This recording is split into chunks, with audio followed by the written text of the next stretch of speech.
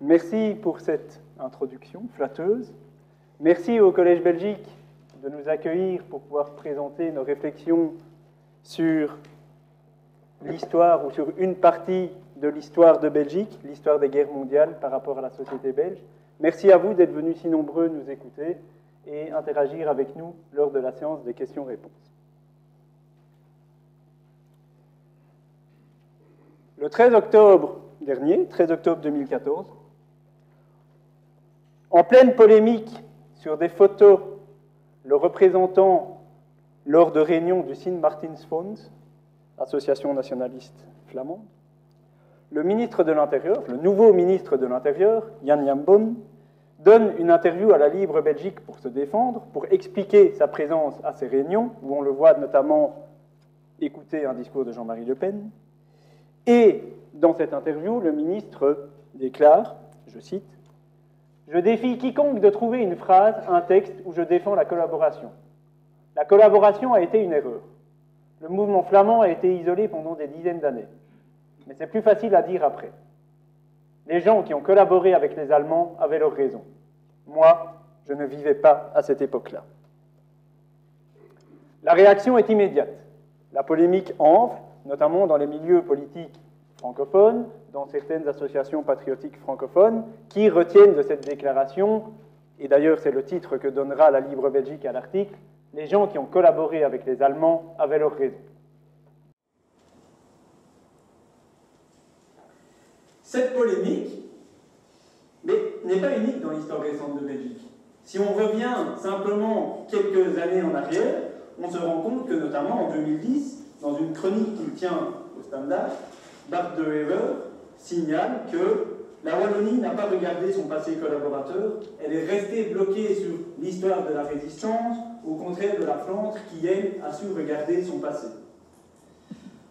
Cette chronique et ce qui s'ensuit donne lieu à un débat, à, des échanges parfois musclés entre Bart de Wever et entre les, les historiens de l'université de Gand, où officie par ailleurs son frère Bruno. Autre étape de cette polémique, de ce conflit, c'est notamment en 2011 avec au Sénat belge le vote, majorité néerlandophone contre opposition francophone, d'une proposition de résolution du Vlaams qui signale, qui revenait sur le fait que, enfin qui, énonçait le fait que la répression des faits de collaboration, prétendus ou non au lendemain de la Seconde Guerre mondiale, constitue une des pages les plus sombres de l'histoire de l'État belge. Plus loin, le texte dit On comprendra également à quel point la justice belge de l'époque était bornée, aveugle et émue.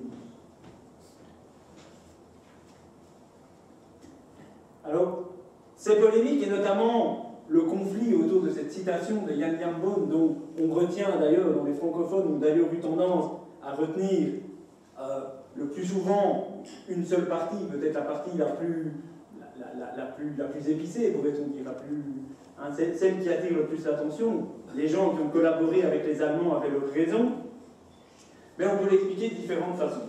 Bien évidemment, il faut la lire dans le contexte politique de l'époque. C'est les premiers pas du gouvernement Michel Ier et l'opposition francophone, Parti socialiste en tête, évidemment, doit trouver sa posture, doit trouver un angle d'attaque, et c'est facile que de s'attaquer à la NVA et au passé de ses ministres. Cette polémique, notamment avec la publication des photos, doit aussi être lue dans le contexte de conflits internes au mouvement flamand. Hein. Qui a publié les photos? On se rend compte qu'il y a des concurrences entre certains partis et associations nationalistes. Mais surtout, cette polémique, elle doit en tant qu'historien, nous interpeller, nous interloquer. Pourquoi? Ben, Elle revient, bien évidemment, sur une période assez sombre, assez difficile de l'histoire de, Belgique. Les questions de collaboration, de résistance, ben, sont au cœur du propos, au cœur des propos. Ces questions méritent des approfondissements. Elle interpelle aussi l'historien parce qu'elle introduit face au vécu de la société belge durant la Seconde Guerre mondiale, la question communautaire. au cœur de cette polémique, on retrouve cette question, cette opposition entre francophones et néerlandophones. Et pour reprendre la citation de l'historien Henri Rousseau, elle sous-tend les propos tenus, les échanges tenus, les, les, mobilisations qu'il y a pu avoir autour, sous-tend que la guerre serait un passé qui ne passe pas, ou bien en tout cas qui passe différemment d'une communauté à l'autre. Et donc nous, en tant qu'historiens, on ne peut que se poser des questions sur ces observations. On ne peut que faire des constats. Le premier constat qu'on peut faire, c'est celui, en fait, d'un décalage entre ce discours polémiste, ce discours majoritaire qui a été repris dans les médias, qui a été repris dans les milieux politiques, qui a donné lieu à des mobilisations, à des, actions symboliques. Hein. Pour rappel, à cause de cette citation, notamment Yann Yambon n'a pas été invité à l'inauguration du nouvel hôtel de police de Charleroi euh, par le, le bourgmestre euh, Paul Magnette, lequel soulignait que, étant donné euh, le passé notamment résistant de certains policiers de Charleroi, on ne pouvait pas se permettre d'inviter un ministre de l'Intérieur ayant tenu de tels propos. Donc, que à ce discours majoritaire, qui aurait tendance à mettre en avant l'opposition, le conflit, mais en fait, si on regarde les discours historiens, on constate que le conflit est beaucoup moins, présent. Il y aurait une dichotomie entre ce propos majoritaire porté, porté dans la République et les travaux scientifiques des historiens des deux communautés qui, en fait, ont tendance à trouver à être relativement d'accord dans leur vision du passé, dans leur étude du passé. Et donc, évidemment, ça mérite de plus amples réflexions. Le deuxième point, évidemment, c'est en tant qu'historien, on se doit d'amener, pour contrecarrer ce discours parfois simpliste, ce discours polémiste, euh, un discours historien, scientifique, posé, basé sur des faits, des chiffres, des sources, des archives. Autre point qui nous interpelle, c'est que dans tout ce débat, la Première Guerre mondiale n'est pas présente.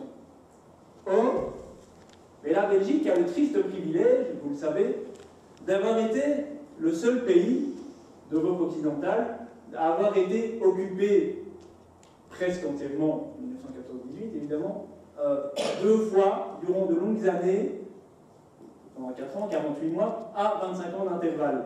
Et, on y reviendra dans l'exposé aujourd'hui, la Première Guerre mondiale et la Seconde Guerre mondiale ne peuvent pas être séparés. On doit aussi envisager la période de ces guerres mondiales, ce premier XXe siècle, comme un, ensemble où le premier conflit mondial va euh, influencer le vécu du second, du second conflit. Fort de ces constats, fort des débats qu'il y a pu avoir, l'objectif que nous nous donnons aujourd'hui dans ce cours conférence le premier, c'est de voir comment les acquis récents de la recherche historique peuvent remettre ou doivent remettre en cause cette vision passionnée du passé. C'est d'essayer d'apporter des éléments concrets, euh, des éléments presque pacifiés, pourrait-on dire, sur le passé, pour remettre le débat, les, les échanges qu'il y a pu avoir au début du gouvernement Michel, mais aussi auparavant, euh, en perspective. Le second, c'est d'apporter des éléments de connaissance, des éléments de compréhension pour mener à son terme, comme on l'a dit en introduction, une histoire sociopolitique de la démocratie et de la société belge. Voir en quoi la société belge dans laquelle nous vivons aujourd'hui et la société belge telle qu'elle a pu se développer ces dernières années a été influencée par cette question des guerres, de la collaboration, des collaborations et de leur répression. Enfin, et pour revenir sur la citation de Yann Yambon qui a donné le titre à ce cours conférence, c'est revenir sur cette notion de raison de la collaboration, mais peut-être, de manière peut-être un peu provocatrice, inverser la question. Non pas réfléchir aux raisons de la collaboration, mais réfléchir également aux raisons de la répression. Pourquoi a-t-on réprimé la collaboration Qui a réprimé la collaboration et pourquoi Quels étaient les causes et les objectifs qui sous-tendaient les processus à leur mener Alors, ce faisant, nous espérons donc porter à votre connaissance le bilan de recherche récente, de recherche d'historiens des deux côtés de la communauté. euh, des deux côtés pardon, de la frontière linguistique, des deux communautés. Euh, à l'origine de ce projet de conférence, nous avions envisagé un projet un peu plus large, il a fallu réduire. Projet plus large, où parole était notamment donnée à de jeunes historiens néerlandophones, justement pour favoriser cette rencontre entre communautés et ces échanges entre communautés. Donc, on espère pouvoir vous offrir, vous dresser un bilan des recherches récentes en histoire contemporaine sur l'histoire des guerres et de la répression, et vous donner des clés de compréhension pour deux événements fondateurs de notre société. Alors, le, programme que nous allons suivre, ben, on va, nous allons travailler en différents points. Dans un premier temps, nous allons vous offrir un parcours historiographique, faire l'histoire de l'histoire, voir comment les historiens ont pu, à travers le temps, s'emparer de cette question. Quelles ont été leurs priorités, quels ont été leurs questionnements, quelles ont été les problématiques qu'ils ont abordées. À partir de cet aperçu historiographique, nous vous proposerons ensuite quelques, un, bilan des connaissances pour vous offrir une réflexion donc, sur cette construction, ces reconstructions de la démocratie belge autour des guerres mondiales. Alors, le parcours historiographique, ben, vous allez le voir, je vais donner la parole à Xavier dans quelques minutes. Globalement, il va vous mener, on va voir, par une succession d'étapes que nous allons évoluer d'un discours militant dans les premières années, même les premiers mois après la guerre, à un discours scientifique. Le discours, la démarche historiographique, l'histoire, elle va aussi changer ses perspectives, changer ses focales, changer ses focus. On va, dans un premier temps, se concentrer sur l'exceptionnel. La guerre est un événement exceptionnel, un événement fondateur, un événement marquant de la société. Mais petit à petit, de cette seule Seconde Guerre mondiale, de cette seule fin de la Deuxième Guerre mondiale, on va s'inscrire dans une logique de moyenne durée. Nous allons, les historiens vont aller en amont, vont aller en aval pour comprendre la Seconde Guerre mondiale, on va se rendre compte qu'il faut comprendre l'entre-deux-guerres, il faut comprendre la Première Guerre mondiale. Pour comprendre les épurations, les répressions de la collaboration, pour voir la réalité du phénomène, l'ampleur du phénomène, il faut aller aussi beaucoup plus loin que 1944-1945. Il faut aller vers les années 50, vers les années 60. Et donc, on va aller de l'événement petit à petit à la séquence historique la séquence historique, la période de moyenne durée. Ce faisant, l'historien, les historiens vont, vont s'interroger aux faits d'abord, et puis progressivement à leur signification, à leur mémoire et aux mobilisations ou aux surmobilisations qu'on a pu en faire. Mais je donne tout de suite la parole à Xavier pour rentrer plus en détail dans cette question-là. Pour bien comprendre ce parcours historiographique que nous vous proposons, il est important de revenir à un fondamental pour les historiens, qui est la théorie des trois temps de l'histoire de Fernand Brodel. Vous connaissez sans doute euh, cette théorie qui lui est née dans son ouvrage La Méditerranée au temps de Philippe II, en prenant la métaphore de la mer avec l'écume des vagues, le temps court. Ici, le temps court, c'est la Deuxième Guerre et sa répression immédiate mais aussi en dessous des vagues, un temps plus long traversé par des grands courants. Ici, dans cette historiographie, ce sera essentiellement la remontée vers l'entre-deux-guerres, le prolongement vers la guerre froide. Et puis, dit Brodel, si l'on descend dans les profondeurs, on a ce temps quasi immobile, anthropologique, où les choses bougent très lentement à l'échelle du millénaire. Ici, ce ne sera pas l'échelle du millénaire, un temps un peu plus court, celui de la période 1914-1961 qui pourra être considérée comme une période structurante pour les traumatismes vécus par la Belgique dans ce premier XXe siècle. Temps court donc la Deuxième Guerre, la répression. Comme l'a dit Jonas, c'est le temps des discours militants. C'est aussi le temps, comme disent nos collègues flamands, de la culture de la plainte, de la culture, ou encore de la misdrive culture que l'on pourrait traduire par la culture du crime ou de la déviance. C'est celle-là qui est mise d'abord euh, en avant. Il y a bien sûr la vision des vainqueurs.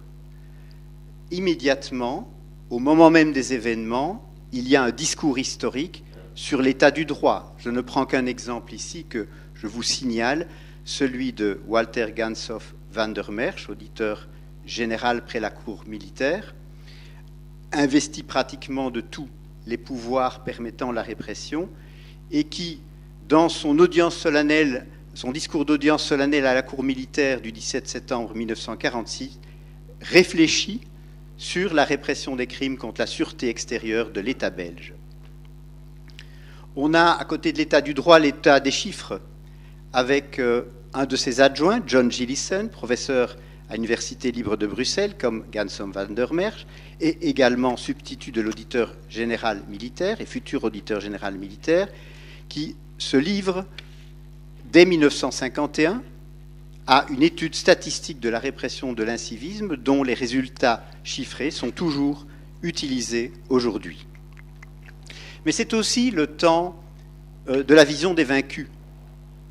Un exemple fameux, c'est celui donné par un historien, Karl van Isacker, historien euh, à Saint-Ignace à Anvers à l'époque, et qui prend le procès d'une personne qu'il estime avoir été une victime injuste de la répression, une des quatre femmes qui furent fusillées après la Deuxième Guerre mondiale, Irma Laplace. Il établit le dossier en historien et il publie ce dossier en 1970. Il continuera à y travailler dans un contexte différent. À la fin de sa vie, dans les années 1995, euh, il publiera le journal de prison d'Irma Laplace et reprendra la critique de son dossier judiciaire à la lueur de nouveaux travaux. La vision des vaincus, c'est celle que l'on peut traquer aussi parmi quelques caricatures.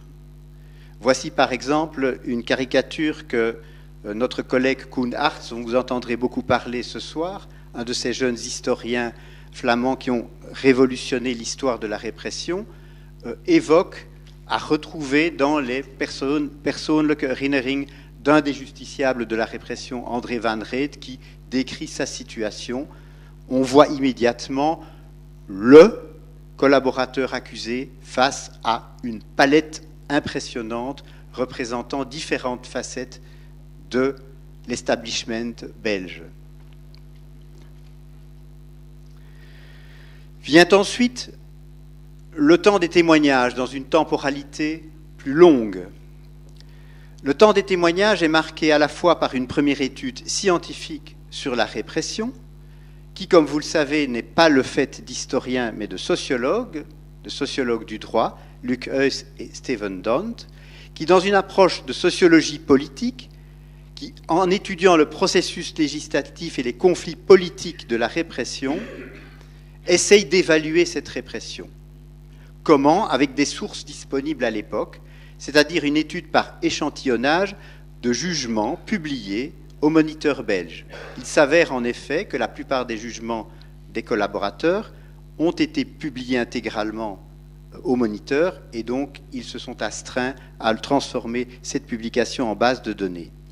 Ce qui permettait la mesure globale d'un objet très varié. Ils ont donc intitulé leur étude La répression des collaborations, premier élément critique dans la représentation.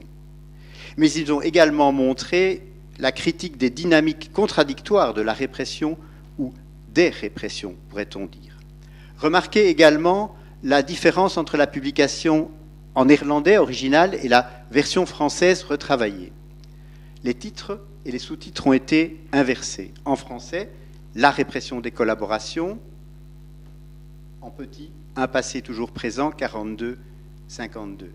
En néerlandais, onverwerkt verleden, un passé non travaillé, 42-52, et en plus petit, collaboration et répression en Belgique. Cela est significatif également de l'évolution du débat, mais aussi de l'évolution face aux deux communautés et de leur sensibilité face au phénomène. Le temps des témoignages, c'est aussi le temps de la prise en charge par les médias de la question de la répression. Cette prise en charge a d'abord été faite par un homme au départ seul, puis entouré d'une équipe d'historiens, notamment Étienne Verhouyen et d'autres. un homme seul qui d'abord est un journaliste d'investigation, Maurice de Wilde. Il va surtout exploiter et donner d'ailleurs aux historiens une incroyable masse de témoignages oraux, puisqu'il réussira à interviewer plus de 300 acteurs de l'époque, tant collaborateurs résistants qu'acteurs de la répression, un peu moins ces derniers. Et cette émission, cette série va donner lieu à plus de 60 émissions sur la BRT. Elle commence en 1982 à la BRT et elle est reprise sur la RTB, la chaîne francophone, en 1984. C'est à l'occasion des 40 ans de la libération de Bruxelles. Cette série a évidemment diffusé largement une image nouvelle, mais aussi controversée, de la collaboration et de la répression. Le temps des témoignages continue à travers le cinquantenaire. Dix ans plus tard, la séquence 1990-1995. Et ici, nous devons créditer la partie francophone du pays d'une entreprise d'ampleur. Pour la première fois, des grands médias, la RTBF et le Crédit communal, à travers ses collections, décide d'offrir un panorama qui va s'étaler sur les cinq ans de commémoration de la guerre, sur cette temporalité, et qui permet donc à la fois des émissions, mais aussi une série, Jour de guerre, qui va permettre aux historiens d'intégrer progressivement leurs travaux. Car la troisième phase est ouverte, celle du temps des historiens. Ce temps des historiens, il commence littéralement et véritablement dans les années 90 avec des travaux novateurs sur la collaboration et les collaborateurs, cette fois-ci fondés sur des sources originales d'archives de première main, notamment les archives de la répression des juridictions militaires. Il faut citer la thèse de Bruno de Wever, dont euh, Jonas vous a déjà évoqué le nom et que vous connaissez tous, Greepnar de Macht, qui étudie comment le nationalisme flamand va s'allier ou va s'intégrer dans le nouvel ordre nazi à partir de son parti dominant, le Vlaams National Verbond, le VNV. Mais il faut penser aussi à, dans les mêmes années, la thèse de Dirk Leuten, Burgers boven elke verdenking, sur la répression de la collaboration économique en Belgique durant la Seconde Guerre mondiale, qui s'attaque à un autre type de Et enfin, de l'extérieur, Martin Conway écrit Collaboration in Belgium, Léon de Grelle and the Rexist Movement, traduit en français les années de, euh, euh, les de les années de collaboration. Voilà trois œuvres majeures. Il y en a bien sûr beaucoup d'autres et je ne peux pas tous les citer, donc nous avons fait un choix et ce qui ne veut pas dire que nous excluons d'autres travaux. Du côté de la résistance et des résistants, dans les mêmes séquences de temps apparaissent des travaux novateurs, des thèses de doctorat, elles aussi.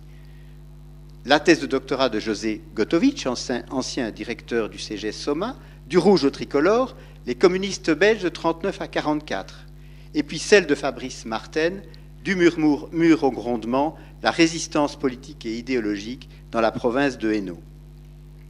Accompagné par le travail de Peter Lagroux, Mémoire patriotique et occupation nazie, paru d'abord en anglais à l'université de Yale et traduit en français, édité à Paris.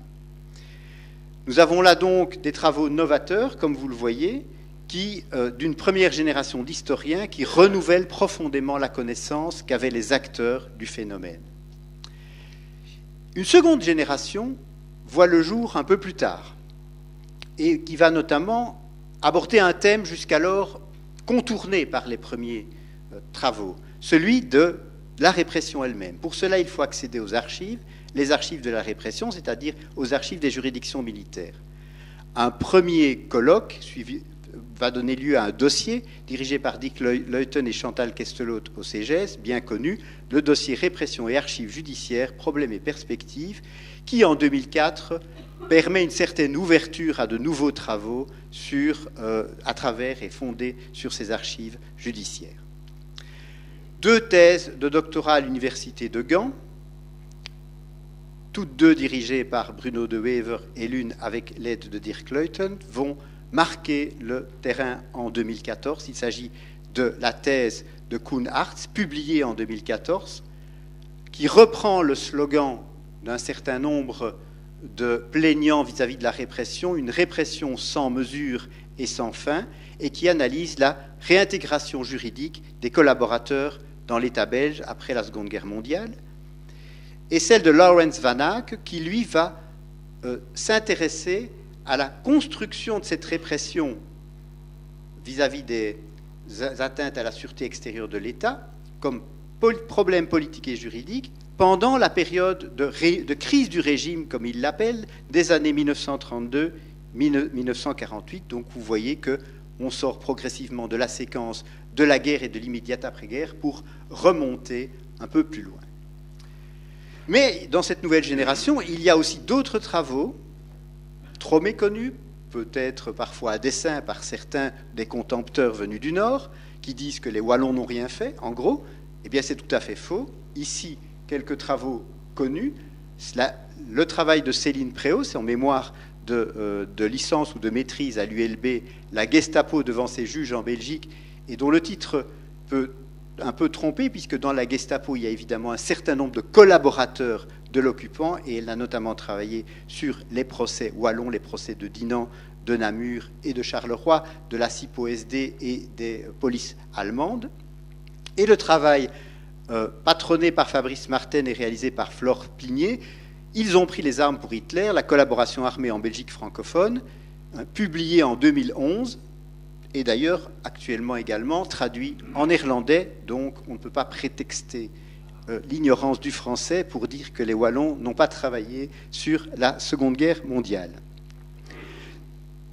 Troisième thème qui est abordé également, qui a déjà été abordé mais qui est renouvelé, c'est celui de la thèse d'Emmanuel De Bruyne sur la guerre secrète des espions belges qui s'attache aux questions de contre-espionnage et euh, justement au travail des espions pendant la Seconde Guerre mondiale.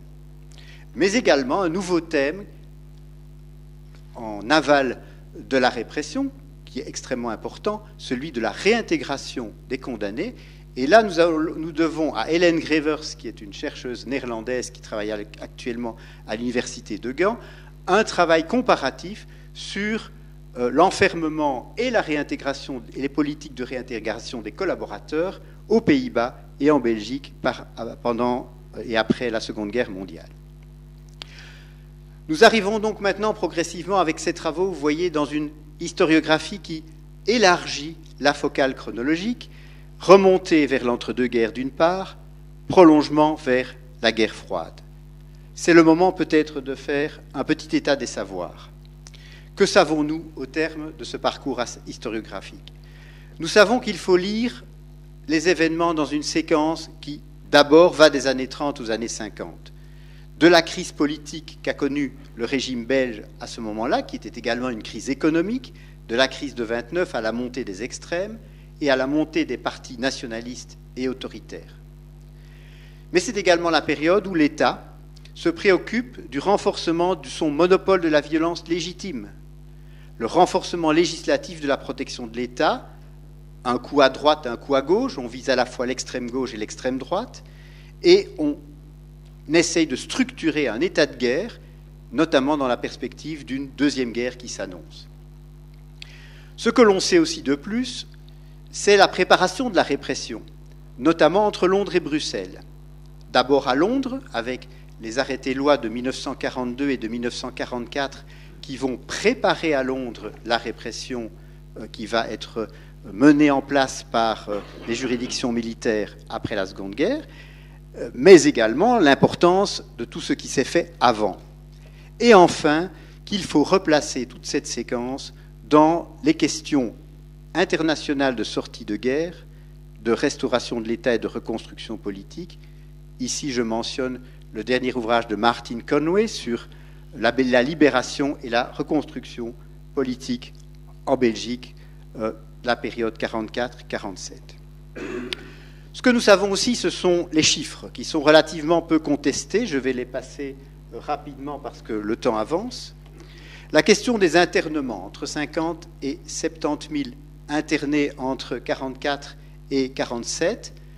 Pour vous donner un ordre de grandeur, c'est dix fois plus de la population des prisons belges en 1940 et en 1960. Donc on est dans un décuplement des internements. Mais ces internements, comme le montrent les chiffres, sont liés à la mise en place de la répression. Ils ont d'ailleurs des fonctions extrêmement variés et très rapidement, il y a une politique de décrue de ces internés, puisqu'après 1947, il n'y a pratiquement plus aucun interné par mesure administrative. Si l'on examine les statistiques judiciaires, on constate que les plaintes portées à la justice pendant la, période 45-46 connaissent un certain pic, mais si vous regardez bien le graphique, reviennent assez vite à leur niveau d'avant-guerre, voire on est dans un phénomène plutôt de décrue par rapport aux années de guerre, où le nombre de plaintes au parquet avait évidemment été extrêmement important. Et on mesure que la partie des plaintes au parquet militaire, ce qu'on va appeler donc la répression de l'incivisme, a replacé aussi dans un ensemble beaucoup plus vaste de conflits, de plaintes et de répression. Si l'on regarde l'activité de poursuite des parquets, on voit effectivement qu'il y a cette pointe, mais que les affaires poursuivies par les parquets militaires ne représentent pas la majorité des affaires jugées. D'autres indicateurs, et là je vous invite juste à regarder l'année 44, 45, 46, où on voit que se concentre la répression, c'est ceux ce qu'on appelle les taux de poursuite ou les taux d'impoursuite. Alors le taux de poursuite, vous le voyez, euh, que je ne me trompe pas, en bas, euh, en 1944, il avoisine les 25%, c'est-à-dire qu'une affaire sur quatre aboutit à un jugement. Mais si vous arrivez en 46, on est là largement en dessous de 1%. Il n'y a plus qu'une affaire sur 10 qui aboutit à un jugement. Les neuf autres sont classés sans suite. On a donc une répression concentrée, forte, mais aussi un tri relativement systématique. Si l'on prend les chiffres donnés par Gillissen, retravaillés par euh, Luc Heuss, et euh, on les met en graphique, deux petits graphiques pour vous donner une petite idée, sans malheureusement pouvoir le développer plus ici, de ce qui pourrait être quelques traits de la répression, pas toujours mis en valeur dans les études actuelles. D'une part, regardez en haut, en gauche, la représentation géographique. Vous avez une, colonne blanche qui représente la proportion des jeunes de moins de 25 ans dans la, dans la société belge. Ça fait à peu près 10%. Et quand vous regardez cette colonne blanche dans les différentes euh, répressions de types de collaborations différentes, selon la typologie de Luc Heuss, collaboration politico-militaire multiple, donc les, les, plus collaborateurs, si vous voulez, collaboration militaire multiple, politique multiple, politique militaire, militaire, dénonciation et collaboration politique, vous voyez que les jeunes sont certainement une des catégories les plus surreprésentées dans la répression. Si vous regardez la question de la langue, qui, elle, a été extrêmement, qui a monopolisé pratiquement le débat. C'est la deuxième barre dans le graphique du haut, représentation démographique, vous voyez que les néerlandophones représentent environ 58-59% de la population du pays. C'est classique à l'époque.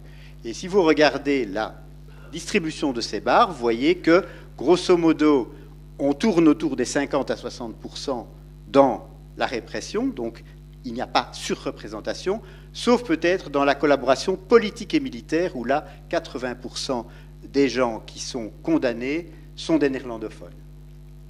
Et si vous regardez un troisième facteur, c'est les hommes, la, proportion d'hommes dans la société belge, vous voyez que les hommes sont un peu moins de 50% de la société belge en 1945, mais quand vous voyez le taux de condamnés de la répression qui sont des, masculins, qui sont masculins, vous avez évidemment une surreprésentation des hommes.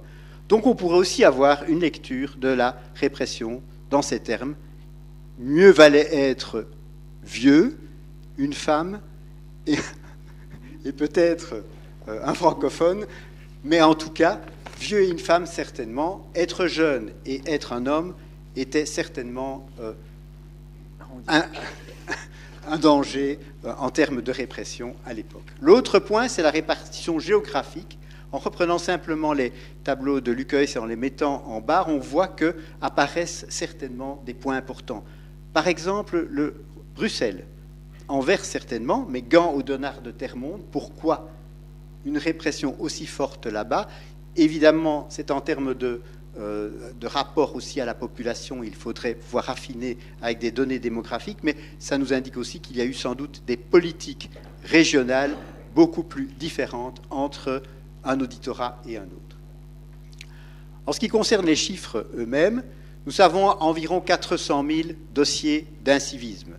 Ces dossiers d'incivisme n'étaient pas les seuls que travaillait la justice militaire. On oublie souvent, bien qu'il soit évidemment la partie importante, la part du lion, si je peux me permettre l'expression, qu'il y avait également plus de 47 militaires, militaires belges, euh, qu'il y avait aussi 51 000 dossiers concernant la protection des armées alliées, etc. Et je vous passe euh, les détails, et plus de 3 000 euh, dossiers de crimes de guerre d'individus qui ont été poursuivis pour, pour crimes de guerre jugés par les juridictions militaires. Si l'on regarde maintenant l'ensemble des dossiers ouverts, 228 000 des 405 000 dossiers ont été classés sans suite. 60 000 ont fait l'objet d'une ordonnance de non-lieu après instruction. 57 000, donc un peu plus de 10-12%, sont des affaires jugées, dont 53 000 condamnations, donc un taux important de condamnation parmi les affaires jugées, encore quand même 4 euh, 000 acquittements. Et donc ça nous donne un profil relativement resserré du filtrage qui est fait par la justice militaire. 2940 peines de mort, 26 000 peines de prison et 18 000 grâces sur cet ensemble, qui peuvent concerner aussi bien les peines de mort que les peines de prison. Donc là aussi, les chiffres nous invitent à un certain nombre de prudences. Si l'on prend simplement la peine de mort comme indicateur, 2940 peines de mort prononcées, c'est énorme, mais il ne faut pas oublier que 1693 le le sont par contumace, c'est-à-dire en l'absence des principaux intéressés qui ont fui ou qui sont morts, ou qui, enfin sans qu'on le sache, puisque si, on le savait, ils n'auraient pas pu être condamnés, euh, mais qui ont disparu. 1247 vont l'être en présence de l'accusé, donc on considère que 1247 personnes ont été condamnées après euh, toute une série de travaux pour euh, euh, éviter les doublets parce qu'il y a des personnes qui ont été condamnées sous plusieurs noms. Il y a eu toute une, enquête très stricte, mais on, a un chiffre relativement résistant. Et comme vous le savez, 242 ont été exécutés, dont deux citoyens allemands. Le plus célèbre étant le dernier exécuté, qui était euh, le commandant Schmidt du camp de Brendang, et le seul officier militaire allemand qui était exécuté sur le territoire belge par la justice belge. Si l'on compare avec les peines de mort en Europe, et là on se base évidemment sur les peines prononcées, on a évidemment un taux d'exécution assez faible des peines belges, mais attention à relativiser par le fait que pas mal de peines étaient prononcées par contumace. Mais néanmoins, le nombre d'exécutions en Belgique est relativisé par rapport au nombre de peines prononcées dans les autres pays. Prenons par exemple les Pays-Bas, la Norvège et surtout la Tchéquie, où l'on voit que là, on a des taux d'exécution beaucoup plus importants des peines de mort qui ont été euh, euh, imposées. Euh, j'ai pu faire le petit travail sur d'autres pays également, et je vous montre simplement cette courbe qui est donc le taux entre le nombre de peines prononcées, le nombre de peines exécutées, et la Belgique évidemment se situe parmi les taux les plus bas. Donc il y a eu en fait un ratissage très large, mais à l'arrivée, en proportion du nombre de personnes poursuivies, extrêmement peu de condamnés. Vous allez me dire 242, c'est toujours 242 de trop, et je suis bien d'accord avec vous. Mais regardons un autre indicateur, la gestion de la pénalité. Là, je l'emprunte à euh, Kuhn dans son ouvrage qui vient d'être publié, où il montre très bien que dès l'année 51, euh, si l'on regarde la population des établissements pénitentiaires, eh bien, le nombre d'inciviques qui restent est équivalent au nombre de gens qui sont pour droit commun. Donc on n'a pas, on a la grosse partie des condamnations et des gens qui sont euh, condamnés à des peines de prison, elles sont pratiquement terminées dans les 5 à 10 ans après la Deuxième Guerre mondiale, ce qui est par exemple euh, le cas aux Pays-Bas, souvent vanté pour une politique de réintégration des collaborateurs beaucoup plus souple, mais qui ont exactement jusqu'en 1955 euh, des collaborateurs en prison. Mais, et c'est là qu'il y a une spécificité que relève Cunard, et qui est importante, la gestion de la pénalité a montré aussi d'autres choses. Repartons de cette petite graphique euh, qui vous rappelle à certains la théorie des ensembles de leurs études lointaines. 242 exécutés, et puis un groupe important, environ 97 000 à 100 000 personnes qui vont subir des mesures liées à la répression. 6 000 de ces personnes vont subir des mesures patrimoniales, des amendes, et parfois en millions de francs d'époque, euh, soit vis-à-vis de l'État belge, soit vis-à-vis de leurs victimes. Environ 50 à 70 000 vont être privés de liberté, détenus ou condamnés. Environ 97 000 vont également voir leur condamnation assortie de privation de droits civiques, euh, droit de vote, euh, droit, euh, par exemple, d'avoir une activité intellectuelle, etc. Et cela, d'ailleurs, aura des conséquences juridiques non négligeables. Mais surtout, il y a au-delà de 97 000 personnes, un certain nombre de gens qui vont subir ce qu'on appelle des exclusions clausulaires. Alors, ce mot un peu technique utilisé par Koen Arts en néerlandais, en fait, de quoi s'agit-il De toute une série de mesures administratives qui vont être prises par beaucoup d'administrations et qui vont peser sur les, condamnés de la répression et leurs familles. Un exemple, les enfants des condamnés par les juridictions militaires n'auront pas droit aux réductions familles nombreuses. Les condamnés et leurs enfants n'auront pas droit aux réductions sur les chemins de fer. Et toute une série de mesures, parfois les plus comiques, parce que c'est du tragique comique à certains moments, vont peser et peuvent expliquer aussi comment le sentiment de certains est que les enfants vont continuer à payer pour les fautes des parents.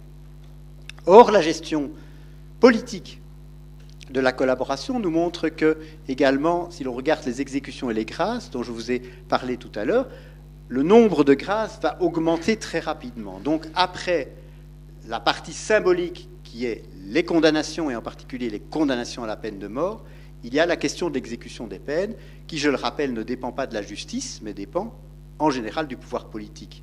Tant l'exécution de la, sanction, la, décision d'exécuter un condamné à mort, et par exemple il y aura une décision politique rapide de ne plus exécuter les femmes, ce explique une série de femmes condamnées à mort qui ne feront jamais de recours ne seront jamais exécutées, alors que quatre l'ont été au début, mais également, il y aura une politique de la grâce qui va d'ailleurs diviser les gouvernements d'après-guerre entre ceux favorables à une politique rapide et large et ceux favorables à une politique plus restrictive.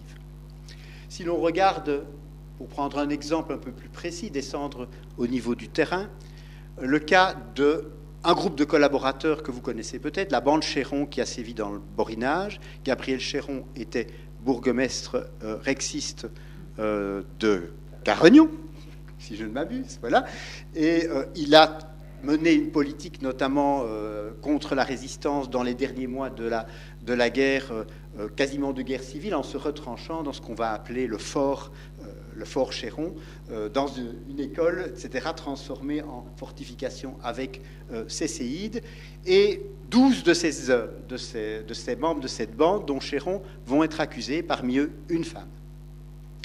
Le Conseil de guerre de Mons a prononcé 11 peines de mort et un renvoi pour internement de quelqu'un qui est considéré comme relevant de la loi de défense sociale n'ayant plus tout à fait sa tête. La Cour militaire de Bruxelles va confirmer 9 des peines de mort, va, transformer une peine de mort en condamnation à 20 ans de détention et va confirmer le renvoi pour mise en observation mentale. La Cour de cassation à Bruxelles, il n'y a déjà plus que 8 pourvois sur les 12, 8 rejets. Recours en grâce, si des douze accusés font un recours en grâce au prince régent, il y a six rejets.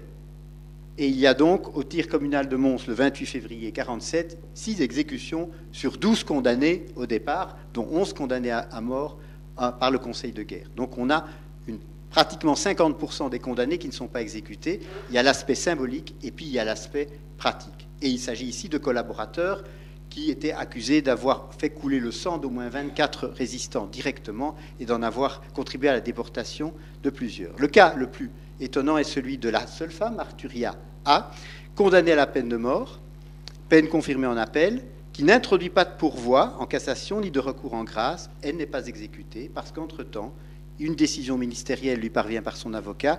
Le gouvernement a décidé de ne plus exécuter les femmes, donc il n'est pas nécessaire de rentrer un pourvoi. Elle va être emprisonnée, changer de nom, et si mes informations sont bonnes, elle vivait toujours il y a deux, trois ans sous un autre nom dans une autre ville. Nouveaux objets, nouvelles méthodes. Maintenant, à la fin de ce petit parcours euh, historiographique,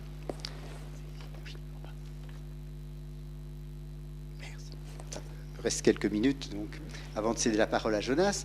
Euh, donc nous allons nous, voir un petit peu comment, à partir de cet état des savoirs que nous avons, il y a de nouveaux courants de recherche qui se mettent en place pour renouveler l'étude de euh, cette période euh, collaboration-répression.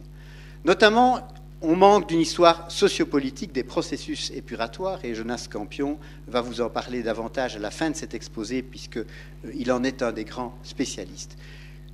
Entrer dans les commissions et les pratiques administratives multiples, établir la prosopographie des hommes et de leurs réseaux, évaluer le rapport entre les principes juridiques et les pratiques administratives, comme je, vous en ai donné un exemple, enfin repris à Kuhnartz, avec ces fameuses exclusions clausulaires.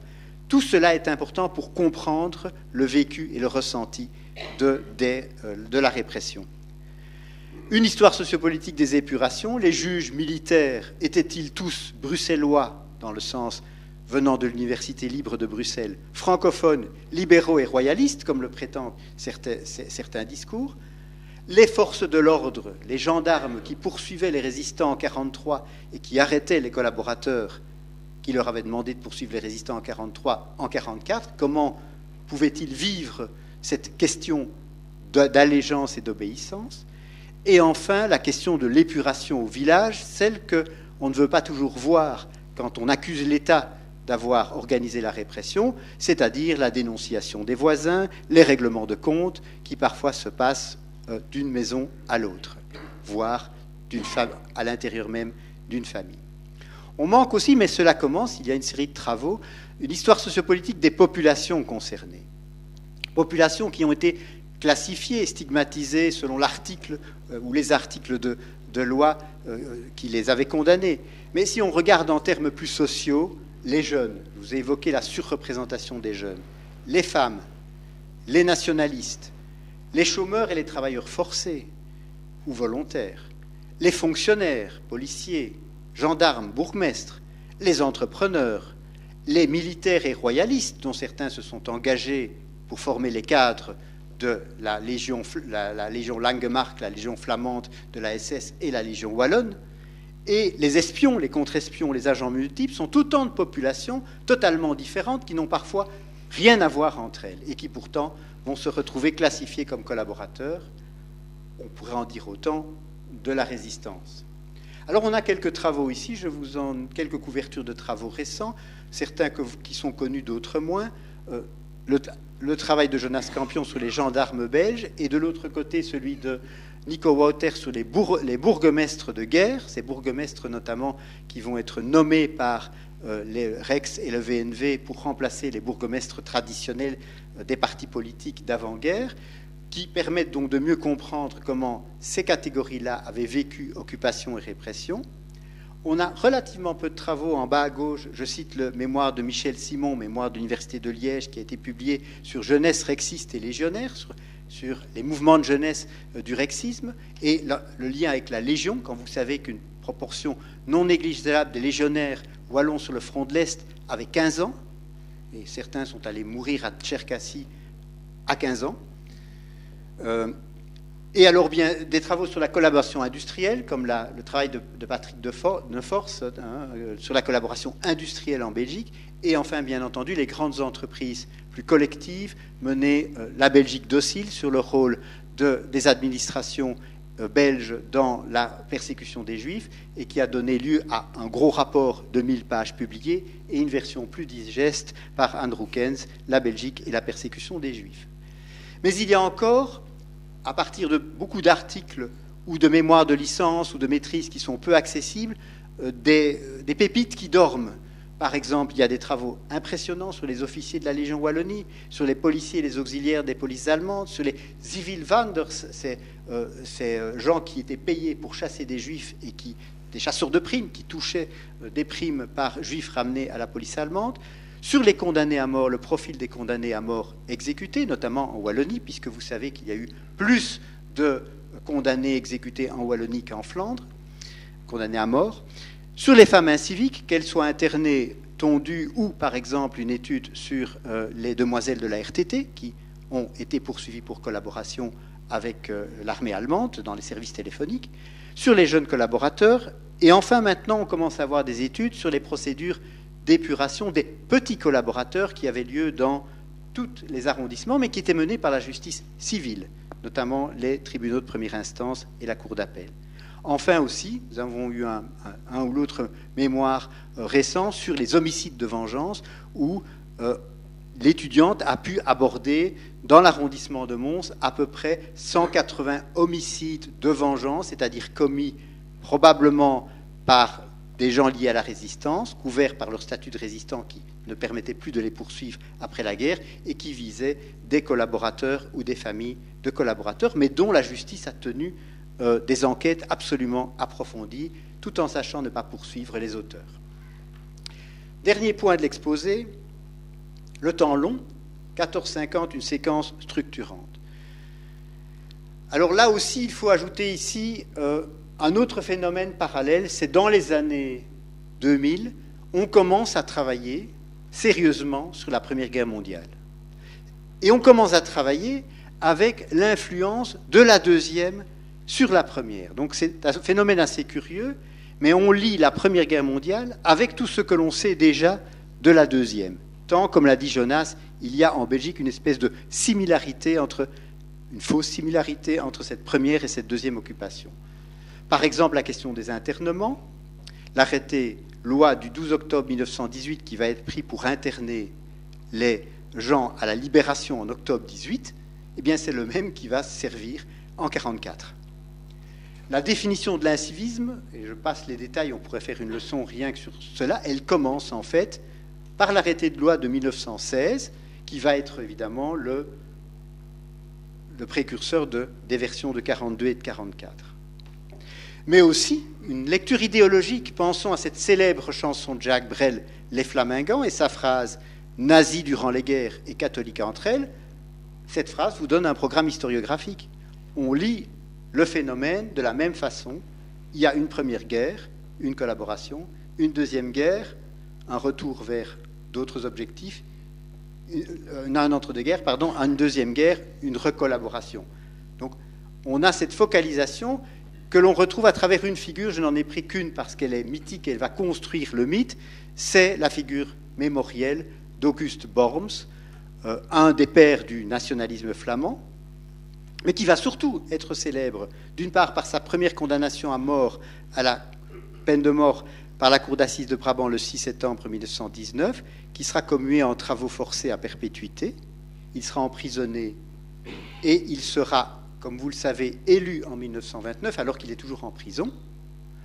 Euh, l'élection sera évidemment invalidée puisqu'on ne peut pas élire quelqu'un qui, qui, qui, à ce moment-là subit une condamnation pénale, mais le gouvernement va le libérer assez rapidement mais il sera recondamné pour avoir prêté son nom et son visage, plus d'ailleurs prêté son nom et son visage que réellement collaboré durant la Seconde Guerre euh, mondiale. Notamment, il a présidé cette fameuse commission Borms, mise en place par l'autorité allemande pendant la Deuxième Guerre mondiale, pour qui visait à justement dédommager les victimes de la répression belge d'après la Première Guerre mondiale. Donc vous voyez que les Allemands, eux aussi, se mettaient dans cette séquence 14, 18, 40, 45.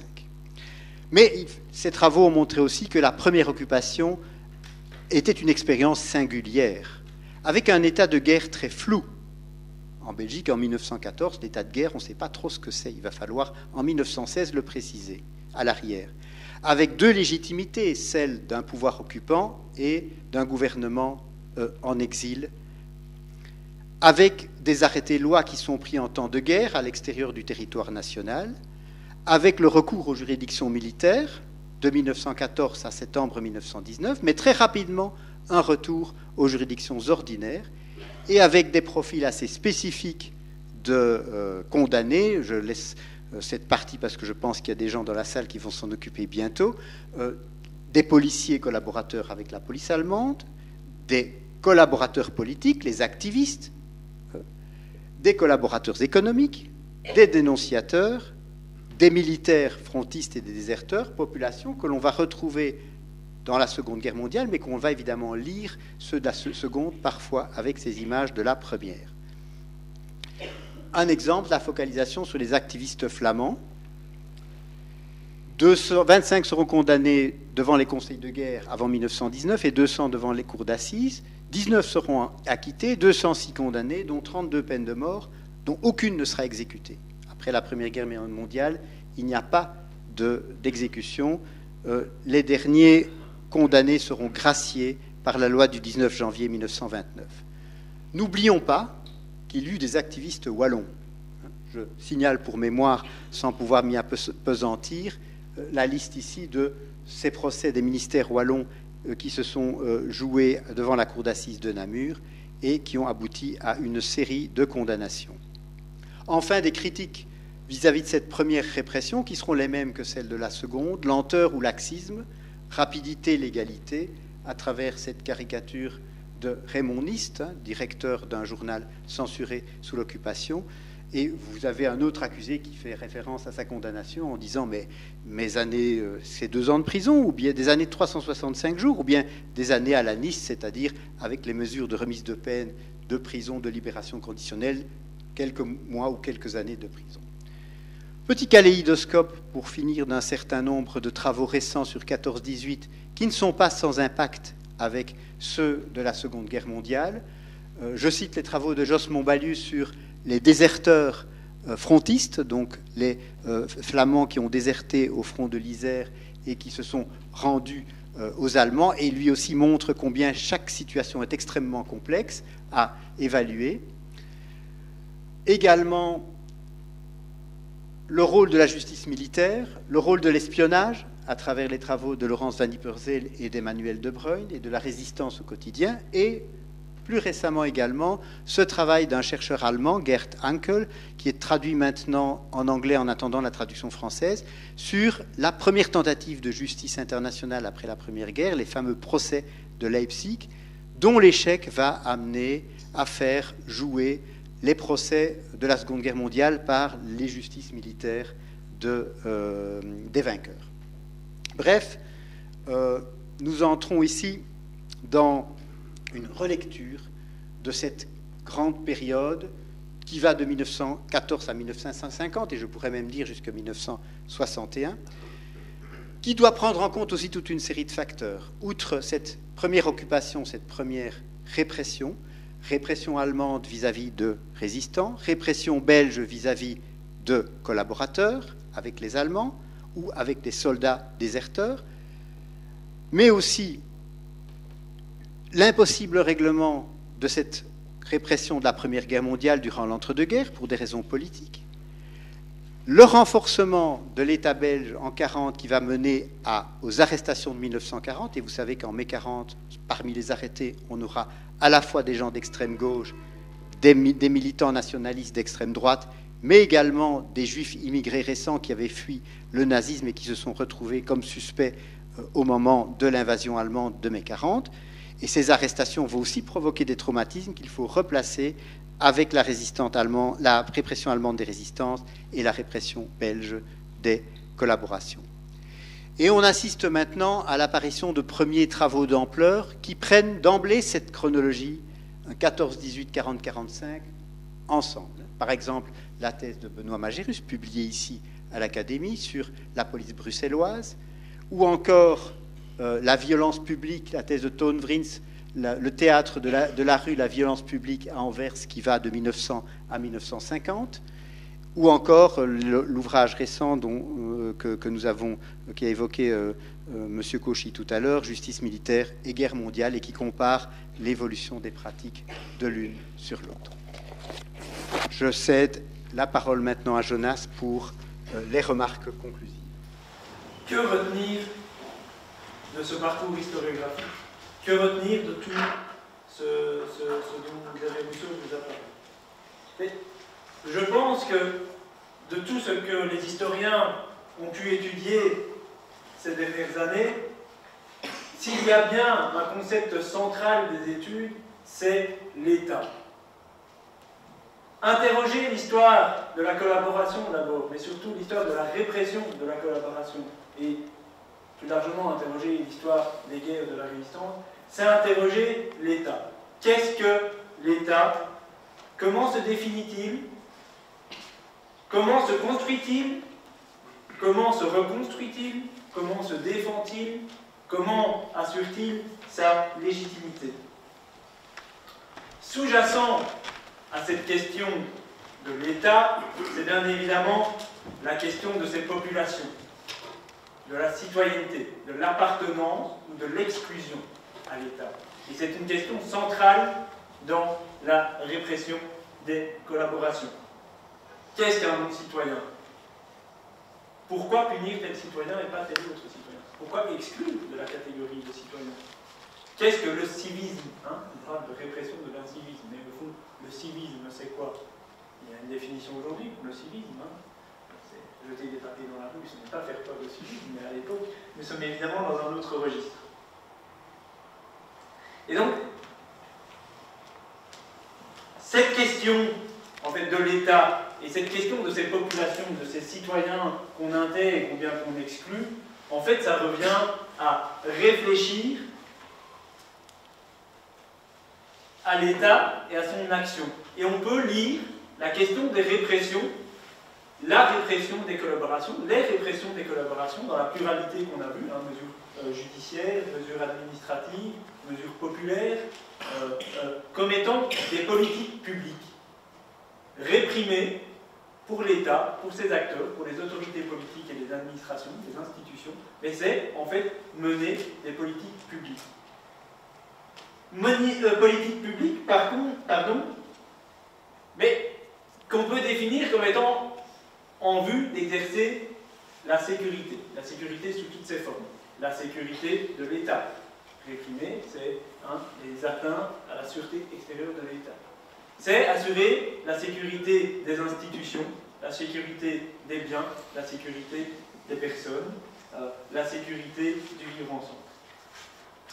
Partant de cette interrogation, on peut redéfinir, on peut essayer de caractériser cette politique, ces politiques publiques de répression. Quelques points sont à retenir hein, euh, de, ce point. Par rapport de, cette question. Par rapport à la Deuxième Guerre mondiale, le premier point pour définir les politiques publiques de la répression, pour caractériser ces politiques, c'est souligner la mise en avant du primat du droit. On a refusé en 1944, en 1945 en Belgique, la politisation, avec tous les guillemets que vous pouvez mettre derrière ce thème, des procédures.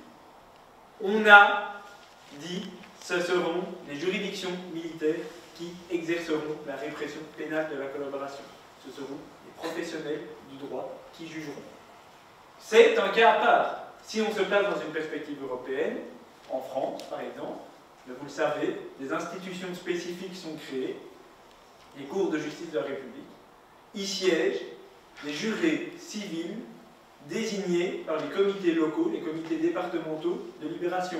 Donc on est vraiment dans une logique exceptionnelle, dans une logique politique, où ce sont des résistants reconnus qui sont en concurrence avec l'autorité centrale, qui obtiennent de désigner certains des juges, des collaborateurs. En Belgique, ce n'est pas le cas. Cette question du primat du droit, ce constat du primat du droit, ben, peut être interprété à, plusieurs égards. D'abord, c'est évidemment dans un but d'assurer la légalité et la légitimité des procédures. C'est dans le but d'assurer, de reconstruire l'État. On en a déjà parlé elle se comprend, cette primauté du droit, lorsqu'on revient aux acteurs. Qui a décidé, qui a construit les politiques de répression? Je renvoie aux quelques noms qu'on a cités, Jans van der Meer, John Gillissen. Ce sont des professionnels du droit qui vont jouer un rôle important. Ces réseaux de professionnels du droit, ces réseaux entre professionnels du droit monde politique doivent être pris en compte.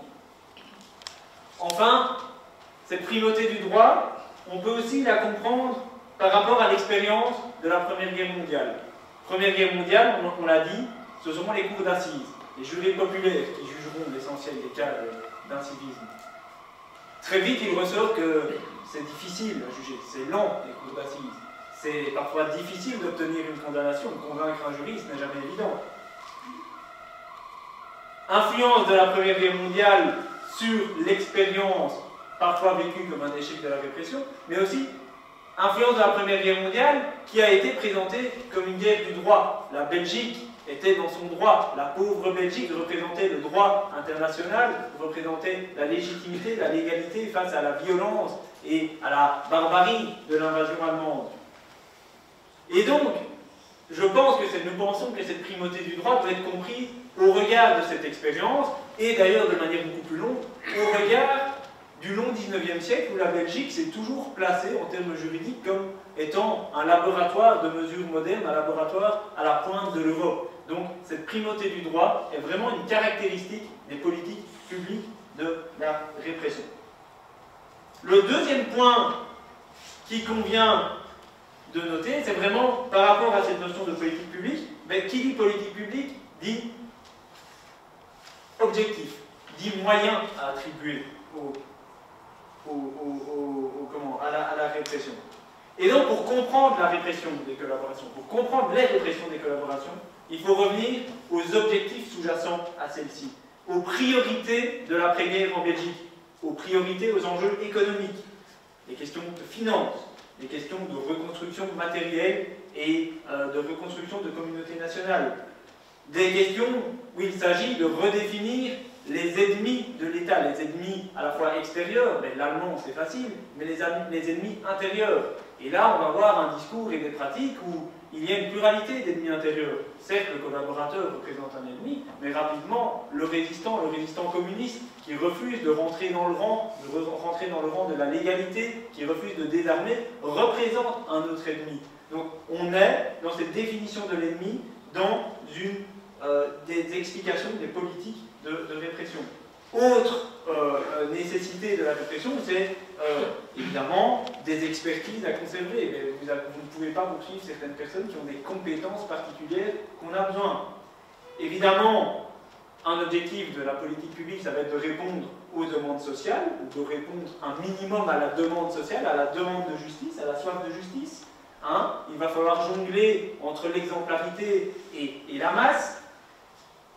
Autre objectif, c'est bien évidemment restaurer le monopole des fonctions régaliennes pour pouvoir normaliser et pacifier euh, euh, la situation en Belgique. Et donc, la conjonction de ces objectifs, la mise en avant de tel ou tel objectif, la priorité entre ces deux objectifs, explique, peut expliquer, peut permettre de comprendre les processus qui ont mené à interpréter le droit, à voir évoluer les structures de l'épuration, à voir comment les peines ont été euh, euh, appliquées ou n'ont pas été appliquées, comment on a réduit les peines.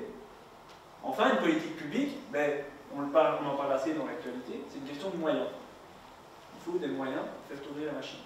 Et typiquement, la question financière, la, question du coût de l'épuration, la, question du coût de la répression sera une question pendant euh, dans le processus, influencera le processus. Si je me base sur ce que je connais le mieux, l'épuration de la gendarmerie, la répression de collaboration de la gendarmerie et de l'appareil militaire dans son ensemble, un ensemble de commissions administratives sont instaurées au sein de l'appareil militaire, vers lequel affluent des dossiers. En 1947, on dit, et c'est des notes du Premier ministre qui l'affirment, on n'a plus les moyens, on n'a pas la priorité financière de faire tourner les commissions. Ça coûte cher. Donc, pour stopper l'épuration, nous allons dissoudre les commissions, nous allons supprimer l'organe épurateur parce que ça coûte cher. Hein. Donc on est dans cette logique aussi de prise en compte en tant que politique publique des moyens. Enfin, cette question de caractériser la répression, de caractériser la répression euh, euh, la répression des collaborations comme politique publique, c'est aussi, et ça, permet de comprendre pourquoi on jongle sans cesse entre grandes figures, on a cité des noms, Borns, on pourrait citer De Grelle, hein, grandes figures qui concentrent un peu les vices, catégories, hein, à un moment on va poursuivre des catégories de population pour ce qu'ils sont, parce que, euh, parce que vous avez pris une fonction pendant la guerre en tant que groupe vous êtes potentiellement coupable, vous êtes potentiellement suspect. Et après les grandes figures, après les groupes, ben, réprimer, la, politique des répressions des collaborations, ça va être sur le long terme de jongler et de traiter avec des individus particuliers. On a un processus qui va de la grande figure à la catégorie socio-professionnelle de l'individu. Enfin, les politiques de répression, d'épuration, c'est une politique de gestion des populations et des risques potentiels que ça représente. Il est remarquable de constater que, et c'est sans doute une ambiguïté de l'après-guerre en Belgique, que d'une part, la démocratie qui se reconstruit se veut intégratrice, veut intégrer la population. Hein, le pacte social, la sécurité sociale, on veut participer à la vie publique, le droit de vote va s'élargir, on est dans une logique d'ouverture de la démocratie. En même temps, et sans que ça soit affirmé, ben, on a constaté que par toute une série de mesures prises, mesures pénales, mais aussi toutes, les mesures clausulaires, etc., qui peuvent être prises, vous avez des groupes, des sous-groupes particuliers qui sont exclus de tout ou partie de la vie politique. Vous avez des pertes de nationalité, des pertes de droits civils et politiques, des interdictions, euh, euh, des interdictions d'exercer telle ou telle profession, qui touchent directement les collaborateurs, mais également, on l'a vu, qui touchent leurs familles. Soit que les familles soient touchées directement par la mesure, enfin que la mesure soit étendue aux familles, soit que les, familles soient touchées de manière secondaire dans, un deuxième temps, puisque si papa ne peut plus travailler, ben, c'est évidemment toute la famille qui va avoir du mal à survivre. Hein, on va peut-être perdre un logement de fonction, on va devoir déménager, on va être muté professionnellement, autant de difficultés qui touchent. Et donc, on est dans cette logique dans la répression de, cette difficulté entre d'une part une Belgique qui se veut intégratrice et en même temps une Belgique qui exclut parce qu'on considère les populations comme étant dangereuses. On considère qu'il faut gérer l'échelle des risques, gérer la menace et qu'une manière de gérer la menace, c'est d'empêcher, de retirer de la vie publique ou de la vie professionnelle tel ou tel groupe. Enfin, je pense que la répression des collaborations, on ne peut pas ne pas la lire dans une perspective euh, euh, internationale. Évidemment, c'est la guerre froide qui commence. C'est la période où le droit international connaît une accélération majeure, avec les procès relatifs à la répression des crimes de guerre et des crimes contre l'humanité. Ce sont autant de facteurs qui vont influencer les politiques de répression aussi les relations d'État à État. Vous connaissez tous le cas de De Grelle qui s'est posé euh, en avril 1945 avec un avion allemand sur une plage espagnole et la difficulté et, l'embarras des autorités belges dans le fait de réclamer ou ne pas réclamer, avec quels moyens de pression, l'extradition euh, de De Grelle. Les perspectives internationales, c'est aussi lire les relations avec l'Allemagne, l'Allemagne qui se reconstruit, c'est aussi envisager l'impact de la construction européenne et l'impact d'institutions nouvellement créées au niveau européen sur la répression menée dans les pays. Nous avons parlé tout à l'heure de 1961 comme terminus de la répression, comme date de la répression, alors que traditionnellement on parle de 1952, euh, qui est la, fin de, la guerre, hein, c'est ça donc 1961, pourquoi C'est un jugement de la Cour européenne euh, des droits de l'homme par rapport à un collaborateur belge qui avait introduit un jugement. Et ce jugement va influencer le droit belge, va obliger le législateur en Belgique à statuer sur globalement la fin de la répression. Je ne rentre pas dans les détails, c'est Kuhnert qui a très bien mis ça en avant. Et donc on, on voit bien l'impact du niveau transnational sur l'épuration, sur les politiques épuratoires telles que menées euh, au niveau euh, national. Et donc, on constate combien la répression des collaborations, ou plutôt les répressions des collaborations, sont des phénomènes pluriels, sont des phénomènes compliqués, sont des phénomènes inscrits dans le temps et qui nécessitent véritablement une appréhension globale des réalités, hein, une appréhension globale des collaborations, des collaborations vécues, des collaborations définies par le droit, des collaborations définies par la population, des collaborations poursuivies, des collaborations condamnées et qu'on n'est pas du tout dans les mêmes registres. Et cette construction de la répression, elle est à lire dans cette question de, dans cette question de gestion en tant que politique de l'exercice de la justice en, euh, en Belgique libérée. Enfin, pour conclure et revenir aux quelques interrogations que nous avions posées euh, au début de ce cours conférence, mais donc, quels étaient les collaborateurs Avaient-ils leur raison finalement? Vaste question évidemment, mais on pourrait dire que les raisons des collaborateurs elles sont aussi multiples que sont les collaborations, que la collaboration c'est une notion plurielle, hein, et que si vous rentrez dans les archives, dans les dossiers, dans les dossiers répressifs, dans les dossiers pénaux, mais aussi dans tous les dossiers de carrière des administrations, hein, au sein des administrations, vous allez voir des raisons économiques, des raisons familiales, des raisons sociales, des raisons de volonté de poursuivre le cours ce qu'on considère comme étant le cours normal de la carrière, et donc à côté de raisons politiques qui vont expliquer les collaborations. Donc on y reviendra.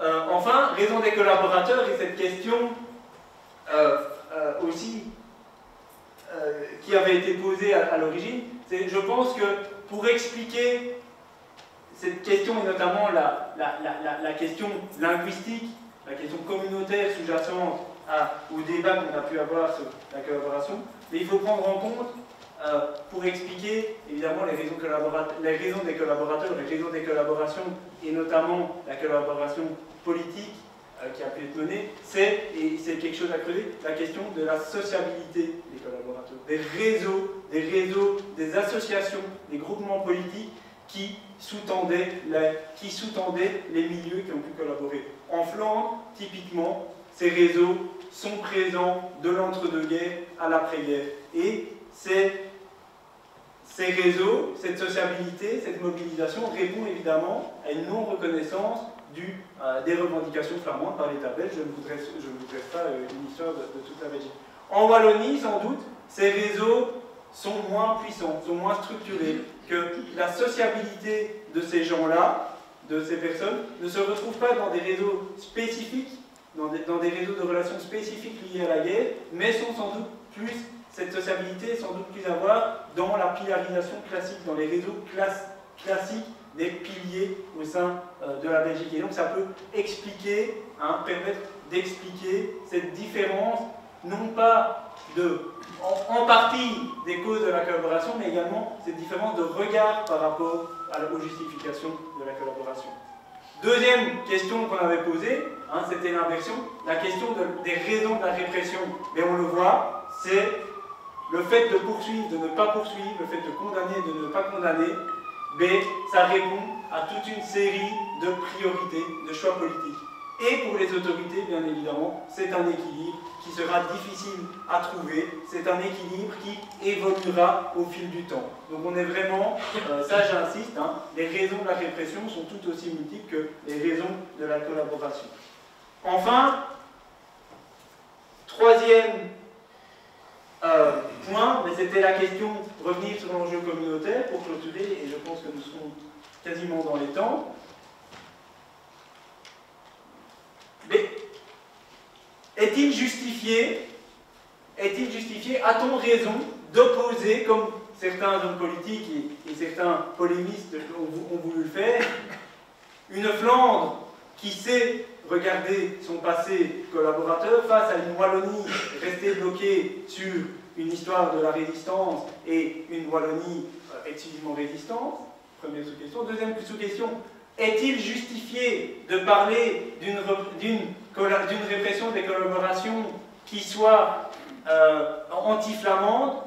Mais qui, répond On l'a vu, la recherche historique apporte des réponses nuancées et des réponses sur ces questions.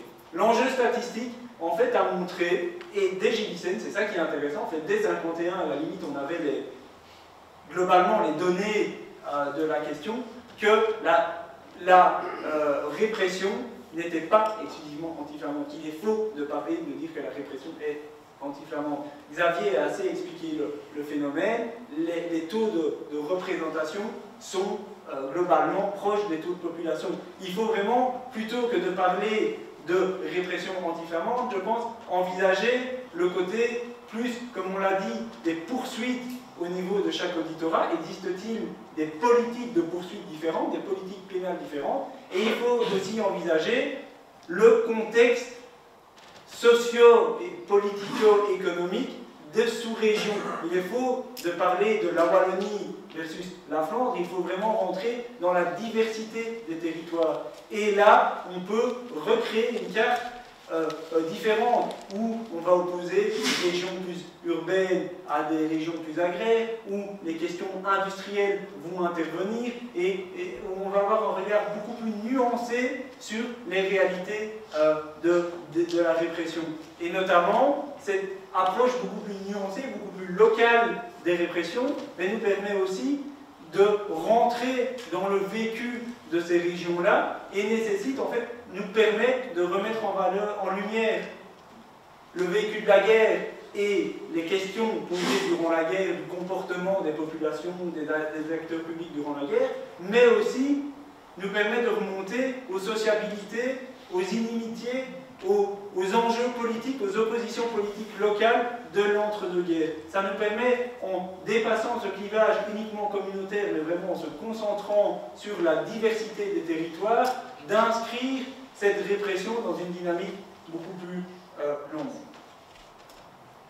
Enjeux communautaires et recherche historique, ben, on le voit dans la lecture aussi communautaire des faits, ben, il y a des enjeux euh, institutionnels, à savoir que, euh, les, il est parfois il n'est pas cohérent, historiquement parlant, de parler, d'opposer une répression anti-flamande, etc., parce que, en fait, les institutions ne rentrent pas du tout dans cette logique. La gendarmerie, il n'est pas cohérent, c'est une institution nationale et qui l'assume, il n'est pas cohérent de vouloir rentrer dans cette logique euh, communautaire. Enfin, euh,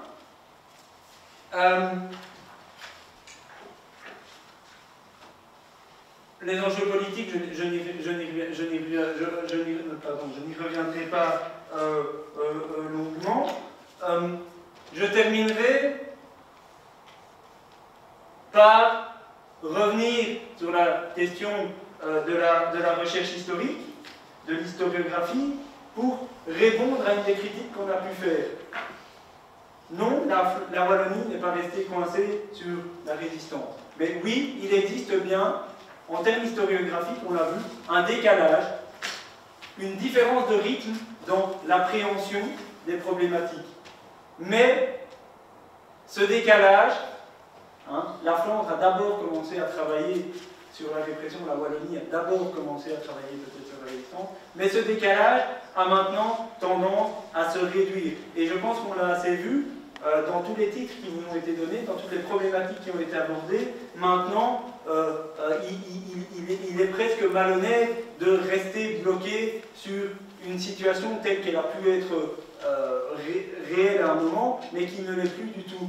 Et je réinsiste une dernière fois, pour conclure, sur la l'ambiguïté d'opposer recherche historique en Flandre et en Wallonie en disant qu'actuellement, les, travaux sur la répression, les travaux sur la Belgique en guerre, ils ont notamment lieu en commun. Les historiens néerlandophones, francophones, travaillent en commun. Travaillent en commun d'ailleurs dans des projets fédéraux notamment. Vous avez hein, la politique scientifique fédérale qui finance des projets fédéraux où ces questions sont abordées. Et donc, voilà, euh, c'est pour dire que, que euh, euh, existe sûrement des différences entre régions. Ces différences en termes historiographiques ont tendance à se réduire. Euh, maintenant, il existe une véritable dynamique de travail en commun, mais c'est certain que euh, des spécificités régionales doivent être prises en compte, notamment, et je insister sur la question que je disais tout à l'heure, hein, dans la, perception des épurations, cette question des sociabilités des épurés, qui est certainement différente en Flandre et en Wallonie, et qui peut sans doute constituer un facteur explicatif euh, de la différence euh, de vitesse de la fléchette historique. Je vous remercie.